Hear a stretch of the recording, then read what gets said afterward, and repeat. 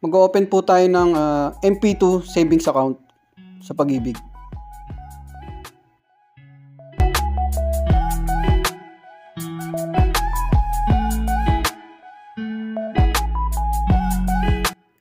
Yo, what's up mga kabayan? Welcome back sa aking channel, OFW Nonoy.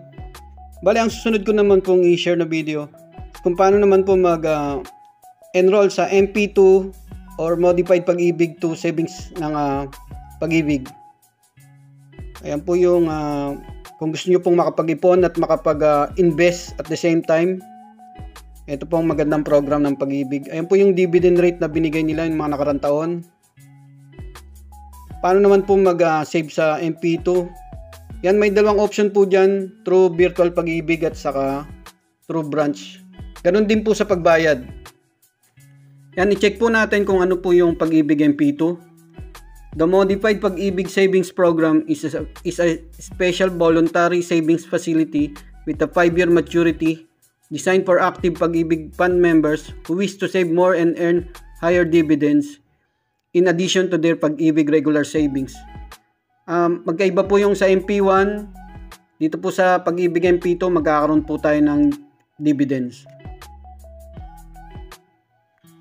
I-check naman po natin yung ah, key fe- features of the MP2 savings program or yung pinaka-benefits niya.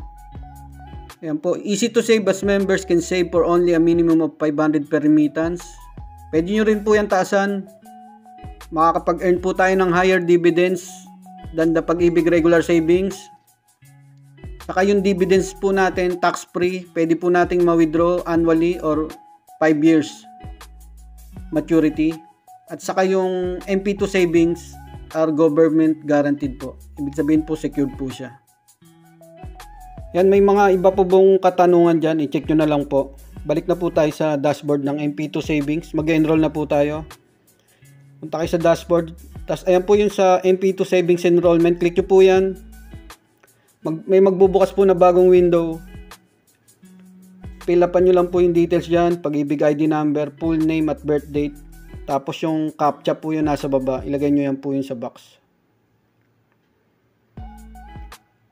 Lagyan ko lang ng details. Ayan po yung captcha. Gayahin nyo lang po yan. Tapos, pag nakapin nyo yan, i-click nyo po yung submit. Ayan, magbubukas po yung panibagong window. Ito po yung sa kaliwa, yan po yung niregister nyo po dati ng mga information. Dito po tayo sa box ng desired monthly contribution. Nasa inyo po yan, pwede nyo puntasan. Tapos, prepared dividend payout, kung ilagay nyo lang po yan sa annually, mas maganda po pag annually.